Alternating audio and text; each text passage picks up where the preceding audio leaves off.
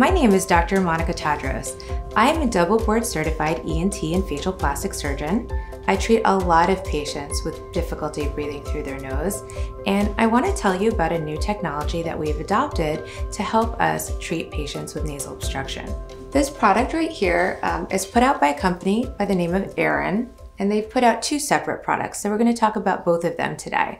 Um, the first product is VivAer and the second is RhinAer. And the only real difference between these products is the length of the probe and the areas of the nose that they're fashioned to treat. So when we look at this, um, technology, we're interested in understanding a little bit more about how it actually works.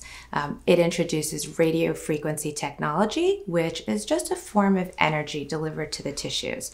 And with that technology delivered to the tissues, we're able to shrink the nasal tissues and also to weaken some overactive nerves in the nose. We'll talk more about that shortly. So the smaller probe is the VivAer probe, and that probe we actually use to treat the front part of the nose. So it's short and it works um, with a different temperature control system.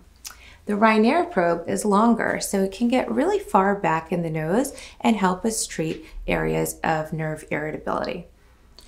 The reason why I love this product is because of how it's been able to improve my success with in office procedures. It is essentially non surgical treatment, it's incisionless, there are no cuts, and it's done under topical and local anesthesia.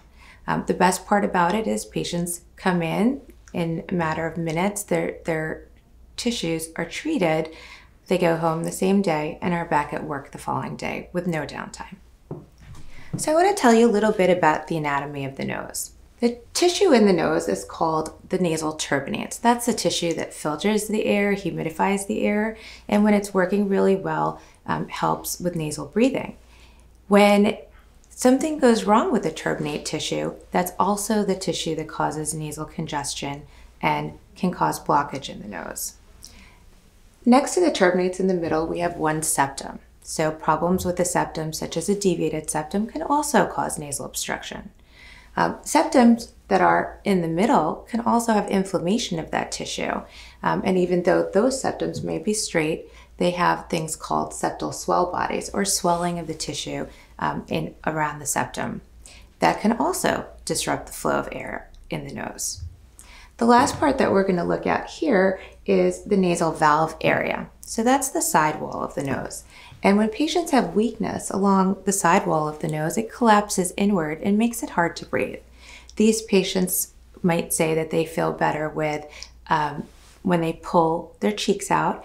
That may expand the airway and allow more air to, to pass through the nose.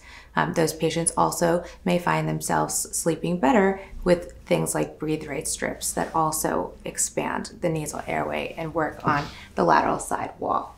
Um, when we look at a patient and decide which product, VivAer or RhinAer, is right for them, we're really looking at um, primarily improving nasal airflow and, and treating each one of their symptoms in an individual way.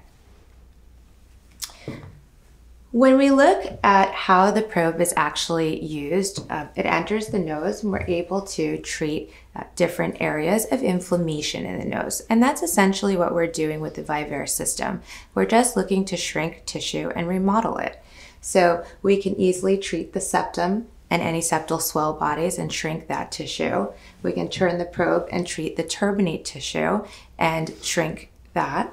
And then we can also address the nasal valve area, and that actually helps to shrink and also stiffen that side wall um, to increase airflow and to improve uh, the internal nasal valve and airway in just a matter of minutes. This slide is just to show you about the complexity of the nerves in the nose. There are a lot of them, and they cause a lot of different issues, um, or they could cause a lot of different issues. And when we look at this, we're looking at uh, the posterior nasal nerve over here and seeing how it tracks along the inferior turbinate. Um, and many patients who complain of a chronic postnasal drip actually have hyperirritability of that nerve. When we treat that nerve, we're able to weaken the nerve and prevent it from being so overactive. So now that we know how complex the nerves can be, let's discuss what the RhinAer treatment is all about.